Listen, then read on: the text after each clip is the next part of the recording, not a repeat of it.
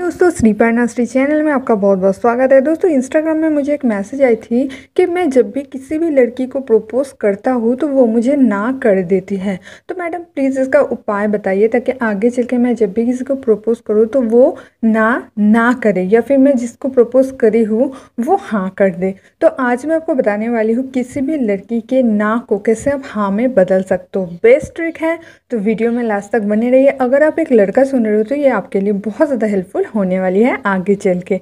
तो चलिए वीडियो शुरू करते हैं। अगर चैनल में पहली बार आ रहे हो तो सब्सक्राइब करके बेल वाला आइकन दबा के ऑल ऑप्शन प्रेस कर लेना, ताकि आगे चल के जब भी मैं कोई भी लैपटॉप्स टिप्स की वीडियो अपलोड करूँ तो उसका नोटिफिकेशन आपको सबसे पहले मिल जाएगा।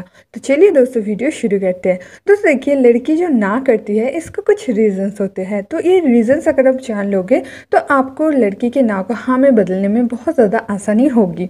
तो पहले कुछ रीजन्स ये आते हैं कि देखिए, लड़की या फिर पहली बार रिलेशनशिप में आ रही है मतलब इसके पहले वो कभी भी कोई भी रिलेशनशिप में नहीं रहा हो। अब कोई भी काम नया करने से पहले सबको ही डर लगता है। तो अगर वो ऐसा सोच रही है कि आगे चल के न जाने क्या होगा तो इसी वजह से वो ना कर सकती है। या फिर दूसरा रीज़न ये हो सकता है कि उसने किसी के साथ प्यार किया हो और वो धोखा खा गई है, ठीक है? अगर वो धोखा खाएगी तो डेफिनेटली वो नेक्स्ट बार रिलेशनशिप में आने से पहले बहुत ज़्यादा घबराएगी और डेफिनेटली वो ना ही करेगी, ठीक है? तो आपको यहाँ पे क्या करना चाहिए? देखिए दोस्तों, अगर लड़की ना कर रही है तो सबसे पहले आप उनसे ये मत पूछो कि मेरी क्या कमी है? अपनी कमी को उसके सामने मत डालो, ठीक है? आप उनसे ये पूछ सकते हो कि तुम क्यों ना कर रहे हो? उसका रीज़न बताओ। एकदम एकदम कॉन्फिडेंट होकर आपको ये पूछना है कि आप क्यों ना कर रहे हो? उसका रीज़न्स बताओ। तो वो डेफिनेटली कुछ ना कुछ रीज़न्स तो बताएगी ना, ठीक है? तो ये सुनने के बाद आप ये कह सकते हो कि देखिए सब समान नहीं होता है, लेकिन मैं आपकी जो इच्छा है ना, उसका रेस्पेक्ट करता हूँ। ध्यान से सुनिए, ये आपको बोलना है। अगर आप ये बोलोगे ना तो लड़की के दिमाग में ना कोई भी फोर्स महसूस नहीं होगा और उसके दिमाग में एक ये बात भी पहुँचेगा कि आप बहुत ही जेन्यून और अच्छा बंदा हो जो कि फोर्स नहीं करता है।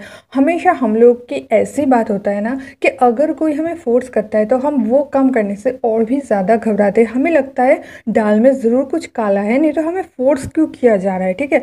जब भी हम आज़ादी में कोई डिसीज़न ले पाते हैं, हम बहुत ही आसानी से डिसीज़न ले पाते हैं, लेकिन जब भी कोई हमें फोर्स करता है ना तो अच्छा चीज़ के लिए भी फोर्स करना तो वो हमें बुरा लगने लगता है। यही है ह्यूमन साइकोलॉजी तो आपको कभी भी लड़की को फोर्स नहीं करना है, उनको मतलब रोना गिरगिराना नहीं है उनके सामने कि प्लीज़ मुझे हाँ कर दो, तुम हाँ नहीं करोगे तो मैं मर जाऊँगा, मैं ये, वो वो। तो ये सब आपको नहीं करना है, ना ही आपको फोर्स करना है कि नहीं तुम्हें तो मुझसे प्यार करना ही होगा, मैं तुम्हें छोड़ के नहीं तो मर जाऊँगा या फिर कोई कोई ब्लैकमेल करने लग जाते कि मैं हाथ का नस काट लूँगा।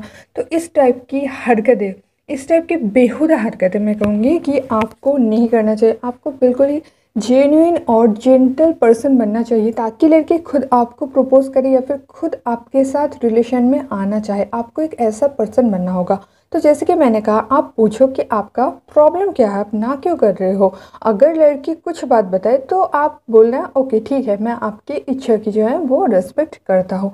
अब आपको क्या करना है? उनके साथ ऐसा नहीं बोलना है कि, चलो, फिर हम दोस्त बन जाए। तो क्या होगा ना, लड़की सारी ज़िंदगी भर आपको दोस्त ही समझेंगे, ठीक है?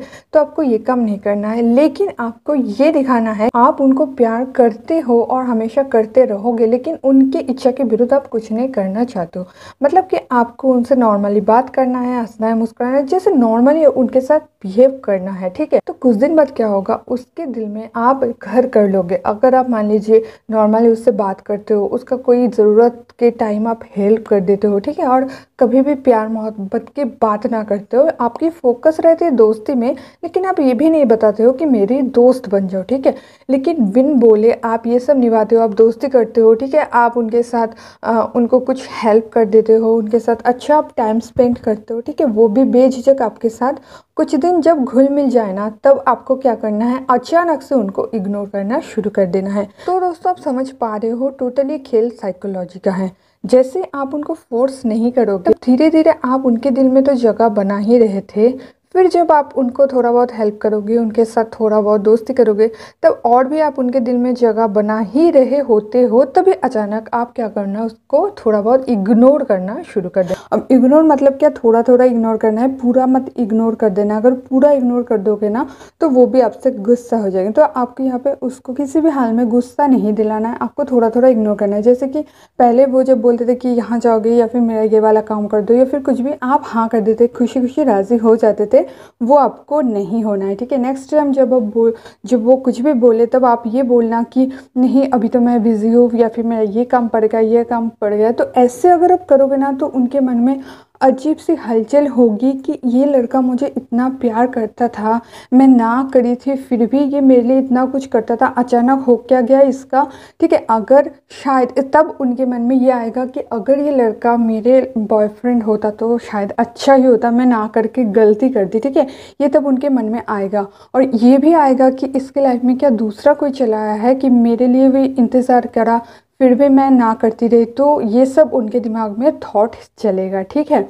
अब क्या करना आप कुछ दिन बाद फिर जब उनसे आप बात करना, तब जाके आप फिर से एक बार प्रपोज़ कर देना कि क्या राय है आपका राय बदला है या नहीं, ठीक है? मैं तो आपको अभी भी चाहता हूँ, इस टाइप से अगर आप फिर से प्रपोज़ करोगे ना, तब डेफिनेटली चांसेस हंड्रेड परसेंट है या फिर हंड्रेड एंड टेन परसेंट है कि वो आपको हाँ कर दे। तो टोटली एक साइकोलॉजिकल प्रोसेस बताई मैं, ठीक है? एक ही प्रोसेस है, लेकिन ये आपको बहुत ही पेशेंसफुली करना है। मतलब एक दिन में ये नहीं हो जाएगा, आपको इसमें टाइम लगेगा, आपको इसमें टाइम स्पेंड करना होगा, ठीक है? किसी को भी आप ज़िंदगी भर के लिए अगर अपनाना चाहते हो, उसकी राय से, उसकी खुशी से तो आपको ये थोड़ा बहुत टाइम तो स्पेंड करना ही पड़ेगा। अगर आप कर सकते हो तो डेफिनेटली वो आपको हाँ कर दे। तो अगर आप किसी भी सच्चा प्यार करते हो और दिल से चाहते हो कि वो आपके लाइफ में हमेशा हमेशा के लिए आ जाए तो ये वाला ट्रिक आप ज़रूर इस्तेमाल करना। आपको हंड्रेड परसेंट हाँ मिलेगी, ठीक है?